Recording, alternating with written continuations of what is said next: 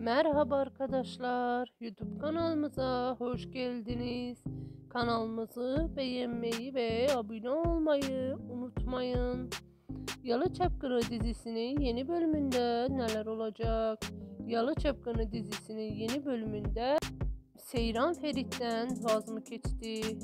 Seyran hamile mi?